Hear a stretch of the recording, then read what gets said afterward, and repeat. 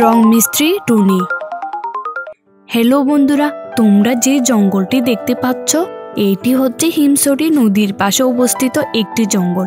আর এই জঙ্গলে অনেকগুলো পশু পাখি বাস করত। শোনো, পাখি মণ্ডলের সবাই এখন হচ্ছে গ্রীষ্মকাল। কিছুদিন পর বর্ষাকাল চলে আসবে। এখন যদি তোমরা নিজেদের নিজ নিজ বাড়ি তৈরি না করে ফেলো, তাহলে তো বৃষ্টির সময় সবাইকে বিস্ত হবে। সবাই নিজ নিজ বাড়ি তৈরি করে ফেলো এবং তারপরে রং করে দাও। যার বাড়ি সবচাইতে বেশি সুন্দর হবে, তাকে পুরস্কার দেওয়া হবে। প্রকৃতি কন্যার কথা মতো যে যার মতো করে নিজের বাড়ি তৈরি করতে লাগল আর সবার মতো টুনি পাখিও তার নিজের বাসা তৈরি করতে লাগল। এইভাবে দুই একদিন কেটে গেল। অনেক পরিশ্রম করার পর টুনি পাখি তার বাড়ি তৈরি করে ফেলল। ততক্ষণে অন্য পাখিরাও তাদের নিজ নিজ বাড়ি তৈরি করে ফেলে। সব পাখিদের বাসায় শুধু রং করা বাকি ছিল। আজকে আমার বাড়ি রং করতে হবে। আমার বাড়ি রং করে অনেক বেশি সুন্দর করে দিব।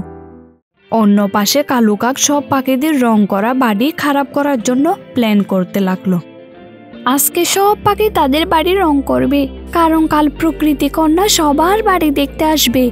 আমি বাদল ভাইয়ের কাছে যাব আর তাকে বলব সে যেন জঙ্গলে বৃষ্টি নিয়ে আসে। তারপর সব পাখিদের বাড়ির রং খারাপ হয়ে যাবে। কাল সকাল হতেই আমি বাড়ি রং করে দিব। যখন প্রকৃতি কন্যা সব পাখিদের বাড়ি দেখতে আসবে, তখন সবার বাড়ির চাইতে আমার বাড়ি সেরা লাগবে আর আমি পুরস্কার পেয়ে যাব। কারণ অন্য পাখিদের বাড়ির রং বৃষ্টির কারণে খারাপ হয়ে যাবে।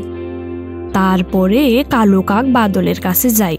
আর ওইদিকে সব পাখি তাদের বাড়ি রং করে ফেলেছে।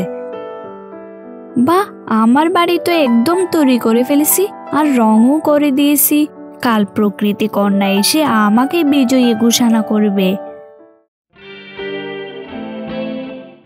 বাদল ভাইয়া, ও বাদল ভাইয়া আজকে গিয়ে আমাদের জঙ্গলে বৃষ্টি নামিয়ে দাও। আমাদের জঙ্গলে কিছুদিন ধরে বৃষ্টি হচ্ছে না। সব পাখিরা পিপাসায় হাহাকার করতেছে। এই জন্যে আমাদের জঙ্গলে গিয়ে বৃষ্টি নামিয়ে দাও।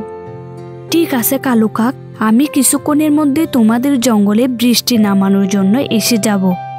এই কথা শুনে কালো কাক খুশি মনেই তার জঙ্গলে চলে যায়। কালো কাক চলে যাওয়ার সাথে সাথে ওইখানে এক বাদল এসে বলল বড় ভাই, তাড়াতাড়ি চলো। এক জঙ্গলে আগুন ধরে গেছে। আমাদের ওই জঙ্গলে গিয়ে বৃষ্টি নামাতে হবে। চলো, তাড়াতাড়ি চলো আমার সাথে। কিন্তু আমাকে তো প্রকৃতি কন্যার জঙ্গলে বৃষ্টি নামানোর জন্য যেতে হবে।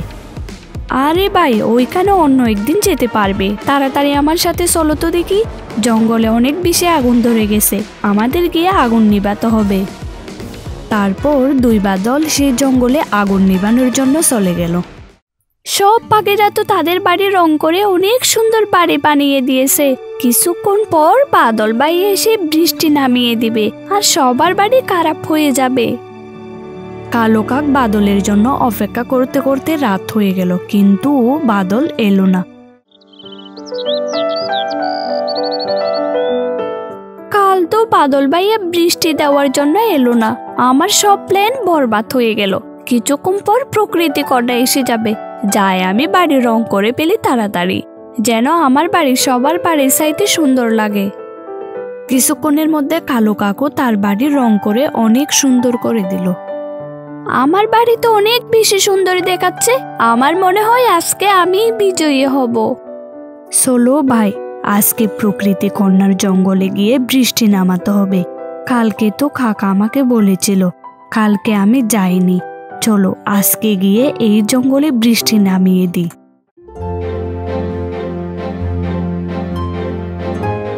তারপর কিছুক্ষণের মধ্যে প্রকৃতি কন্যার জঙ্গলে বৃষ্টি নেমে আসলো। বাপরে বাপ, এই বৃষ্টি কেমনে শুরু হয়ে গেল? আমার ঘর তো এখনই রং করেছি। বৃষ্টির পানিতে তো আমার বাড়ির সব রং চলে যাবে। আমার বাড়ি খারাপ হয়ে যাবে। আমাকে কিছু একটা করতেই হবে। কিছুক্ষণের মধ্যে বৃষ্টি থেমে গেল। বৃষ্টির কারণে কাকের বাড়ি অনেক বেশি খারাপ হয়ে গেল। প্রকৃতি কন্যা জঙ্গলে আসলো আর সবার বাড়ি দেখতে লাগল। প্রথমে মিষ্টি টিয়ের বাড়ি দেখল। বা মিষ্টি টিয়ে, তোমার বাড়ি তো অনেক সুন্দর বানিয়েছো। এখন চলো অন্য পাখিদের বাড়ি দেখে আসি। তারপর প্রকৃতি কন্যা এক এক করে সব পাখিদের বাড়ি দেখতে লাগল। প্রকৃতি কন্যা কালু কাকের বাড়ি দেখতে আসলো। আর সে কালো কাকের বাড়ি দেখে তো অনেক রেগে যায়। এইটা কি কাক? তুমি এখনও তোমার বাড়ির রং করনি? তোমার বাড়ি তো দেখতে অনেক খারাপ লাগতেছে। আমার, তোমার বাড়ি একদম ভালো লাগেনি। চলো, এখন শুধু টুনি পাখির বাড়ি বাকি আছে। গিয়ে তার বাড়ি দেখে আসি তো। তারপর প্রকৃতি কন্যা টুনি পাখির বাড়ির সামনে আসলো। আর যখন টুনি পাখির বাড়ি দেখল, প্রকৃতি কন্যার অনেক ভালো লাগল। কারণ টুনি পাখি জঙ্গলের সব পাখিদের বাড়ির সাইতে অনেক সুন্দর একটি বাড়ি তৈরি করেছিল। বাহ বাহ, টুনি পাখি তুমি তো খুবই সুন্দর একটি বাড়ি তৈরি করেছ। আমার কাছে কিন্তু পুরো জঙ্গলে সবার বাড়ির সাইতে তোমার বাড়ি সবচেয়ে বেশি ভালো লেগেছে। এই জন্য এই বছরে তুমি বিজয়ী। তারপর প্রকৃতি কন্যা টুনি পাখিকে অনেকগুলো স্বর্ণমুদ্রা উপহার দিল। স্বর্ণমুদ্রা উপহার পেয়ে টুনি পাখি অনেক খুশি হয়ে যায়। প্রিয় বন্ধুরা, এই কাহিনী থেকে আমরা এই শিক্ষাটা পেলাম যে অন্যজনের জন্য গর্ত করলে নিজের গর্তে নিজেকেই পড়তে হয়। আর এই জন্যে কখনো অন্য কারও ক্ষতি করার চেষ্টা করা উচিত নয়।